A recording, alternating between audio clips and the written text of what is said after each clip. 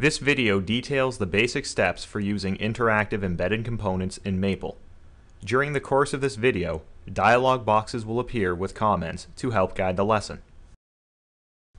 Embedded components are simple graphical interface components that you embed into a Maple document. You can associate actions with some of these components, which are performed when the component is selected or altered. Components are entered using the Components palette, found on the left side of the Maple window. Open the palette by clicking on the triangle. You can see the various components available here. Let's create a simple plotting example.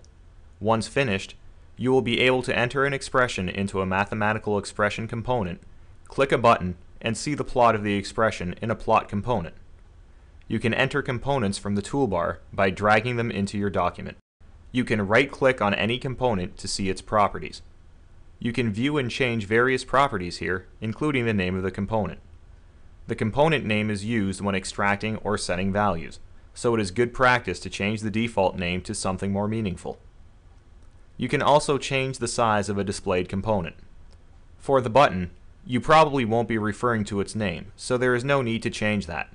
However, you will want to change the text on the button.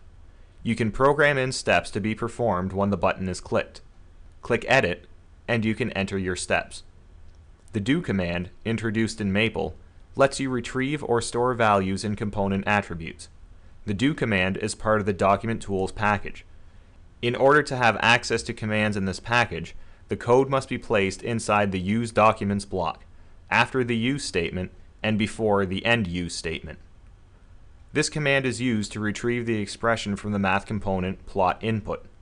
Inside a call to the do command, a percentage sign before the name of a component refers to the value of that component. In this case, the math expression entered in the component. Next, edit the command so that the math component expression is plotted, and set the x-axis range from 0 to 10. Finally, set the new plot as the value of the plot component. Component values are set using equals inside the call to the do command. You can now type in a math expression in X and plot it.